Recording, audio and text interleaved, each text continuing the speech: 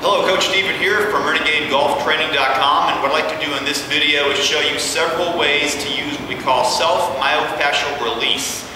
Now I know it sounds like an adult film, but it's not. We're going to use it uh, in a way to break up and loosen up the muscles in this video of your lower body. Uh, everything from the bottom of your feet up through your glutes.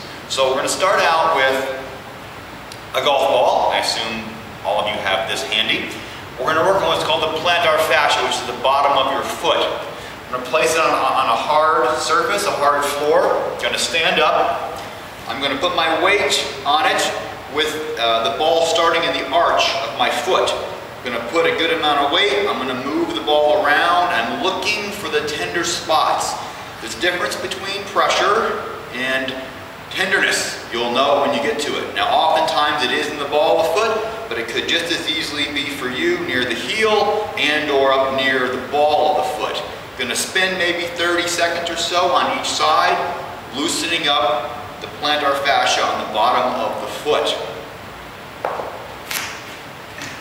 Next, we're gonna look at your glutes. Now for this, we're gonna use a lacrosse ball. You could use a tennis ball to start out with, as many people uh, are a real pain in the ass, literally. So, golf ball, uh, lacrosse ball, going to have you sit on the floor and place the lacrosse or tennis ball right in the middle of your glute there, okay?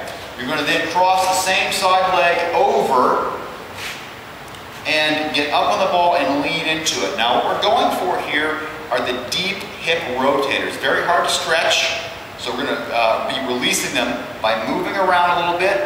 You'll feel the, the gummed up spots call it granola sometimes, crunching it up there, evening it out, working back and forth, trying to relax and breathe into it. Doesn't look like much until you give it a try, okay? Obviously do both sides.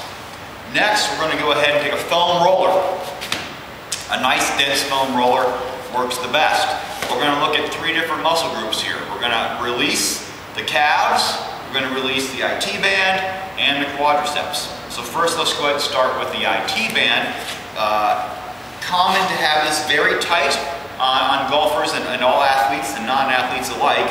It runs from the hip down the side of your leg and almost wraps around the kneecap, which means when it's tight, it can pull the knee out of alignment, oftentimes cause that uh, nondescript knee pain people suffer from.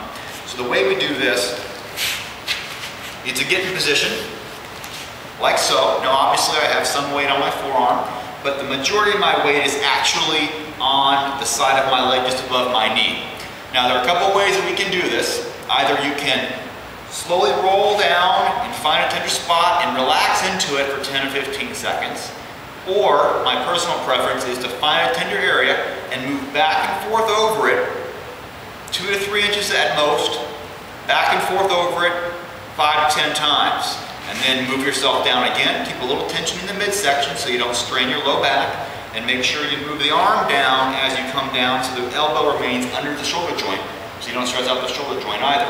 You're going to, again, just keep searching around for the tight, tender spots. Work your way all the way up to the hip bone. And obviously do the other side.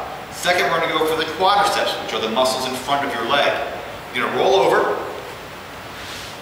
And again, keep maintain some tension in your in your abdominal wall to protect your low back. Now you can roll back and forth down toward the knee, finding any spots that are tender or painful, rolling back and forth. If doing it with two legs, you can't find enough spots, you can cross over and do one leg at a time. This will dramatically increase the pressure and therefore the pain slash effectiveness of this exercise.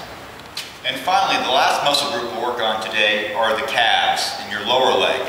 So place the, the body, the mid part of your calves on the foam roller and brace the core, lift yourself off the floor just modestly so the pressure is on the calf muscles. Move the foam roller back and forth, again, searching for the tender areas. You can internally rotate to the left, to the right, again, searching out for the tender spots. You can also, if needed, cross over so you have more pressure on the calf muscle from the foam roller. And again, searching for those areas that are extra tender and tight. When you've completed all these uh, foam rolling exercises, you'll notice that your legs feel different. They'll, they'll feel more fluid and more loose. This is a great way to prepare uh, your body uh, for stretching if needed. And what you'll find is you have uh, a greater ability to lengthen out your muscles, feel better, stay more energized out on the golf course. So let's go ahead, practice these drills daily, feel better, and let's get after old man par.